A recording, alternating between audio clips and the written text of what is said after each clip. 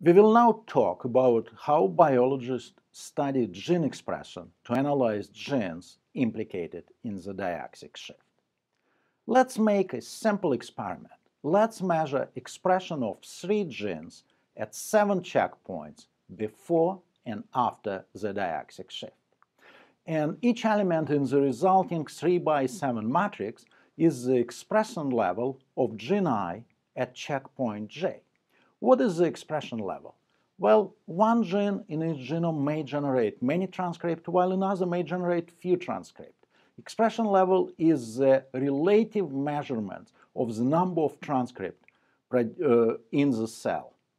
And we can visualize this seven mer expression vector as a plot on seven point. And looking at this plot, you can immediately say that the blue gene most likely has nothing to do with the diauxic shift because the expression of this gene doesn't change before and after the diauxic shift. However, the green gene most likely is implicated in the diauxic shift because its expression increases, and the red gene also most likely implicated in the diauxic shift because its expression is decreasing.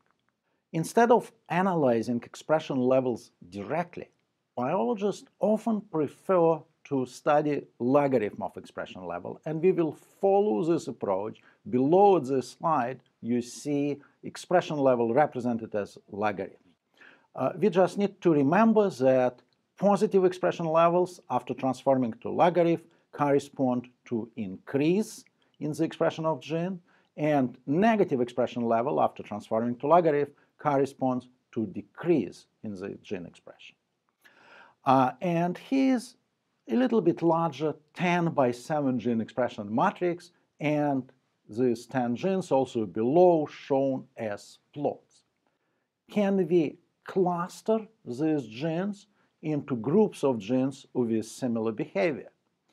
Each row in the gene expression matrix corresponds to gene expression vector, and you can see the plot of this gene expression vector at the bottom. And clearly, just look at this uh, picture at the bottom reveals three types of behavior. Increasing expression corresponding to green genes, flat corresponding to blue genes, and red corresponding to genes whose expression is decreasing. And in fact, in 1997, Joseph DeRisi constructed much larger gene expression matrix by measuring gene expression for 6,400 ES genes, nearly all ES genes, before and after the diauxic shift. And the goal he tried to achieve by using this gene expression matrix was to partition all his genes into clusters so that genes in the same clusters have similar behavior and genes in different clusters have different behavior. Uh, we can also represent genes as point in multidimensional space so that n times m gene expression matrix will turn into n points in m-dimensional space, and our tangents will turn into these 10 points, and we clearly see uh, that blue points that uh, whose expression remain flat clustered together. The same is true for green points and red points. However, I'm cheating here because our points are actually points in seven-dimensional space. We measure gene expression at seven checkpoints. But here, I show these points in two-dimensional space. How have I done it? In fact, the clustering problem is much harder than it looks because there is so-called curse of dimensionality of studying uh, clustering of points in multidimensional places, uh, spaces. So far, we talked about uh, gene expression, but we can also talk about expression of uh, genes implicated in cancer.